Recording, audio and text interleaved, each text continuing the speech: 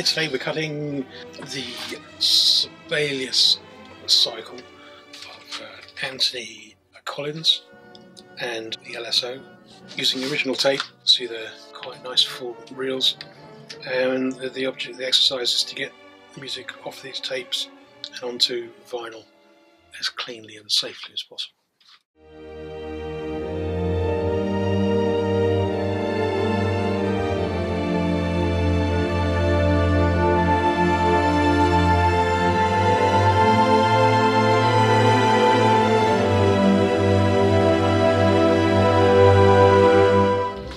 These, tapes are in uh, remarkably good condition. They played beautifully, and uh, they, they also sounded fantastic as well, which is a you know a great testament to the skill of the people who put the things together, recorded the uh, the sessions, and players, the engineers. Yeah, they were very well behaved. You know, it's always a bit worrying when you when you have something of uh, historical value and age that when you get it out of the box, it's going to fall off the reel. To spend the next two hours of your life putting it all back on again. Um, but everything was great. It was nice, nice to see.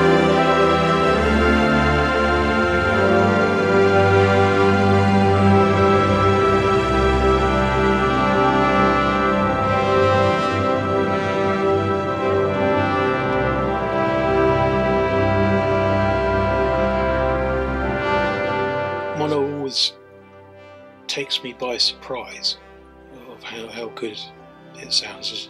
It being used to stereo, there's a massively wide audio audio uh, stage, if you like.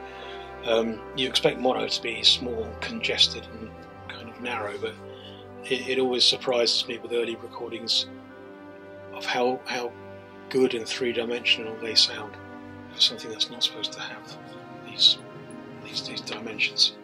There's, there's a clarity there um, in, in these recordings, particularly um, where you actually feel like you're you're in the room with the orchestra, and you can hear them breathe, you know, shuffle about as musicians musicians do.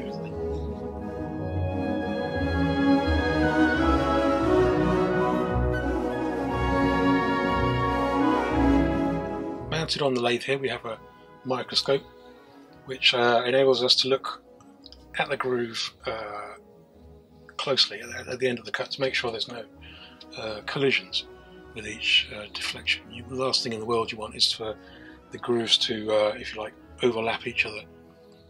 And the, the uh, consequences of that would be, while playing it back, your needle would like to jump or become locked within there, and that's that, that's not allowed. They can touch, but they can't break into the walls. If you see here, you can see the um, the groove itself. Um, these are the outer lines, and then there's the, the centre line, which is the bottom of the groove. If you, if you imagine it's like a, a, a, triangle from, from above. And this, the, the black in between is, is uh, what we call the land, the space in between the grooves. And if one was to move the disc around, you can see they oscillate and that's, that's kind of the music. So we, we cut one lacquer for each side, and these are then boxed up and sent to the factory. And the factory then begins a rather torturous process. Four or five stage process, I think. Um, first of all, um, they, they silver the lacquers, and then with electrolysis, which is O level chemistry, uh, they grow a negative, and this is the father. this is the exact inverse of, uh, of, of the cut. So instead of having uh, triangular furrows, you have triangular points. And then from this uh, uh, father, they then, then grow a mother. And then from the mother, then grow the stampers, which they refer to as children. They store the metalwork in um, together as, as uh, families, which is what they refer to as, which is, is quite, quite